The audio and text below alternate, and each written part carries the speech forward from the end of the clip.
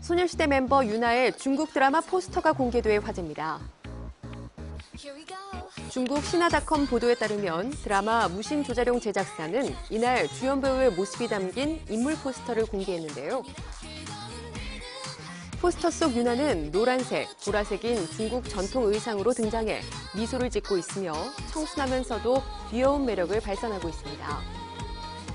한편 드라마 무신 조자룡은 유나가 중국 남자 배우 임경신과 호흡을 맞췄으며 오는 4월 3일부터 중국 후난위성 TV에서 방영될 예정입니다.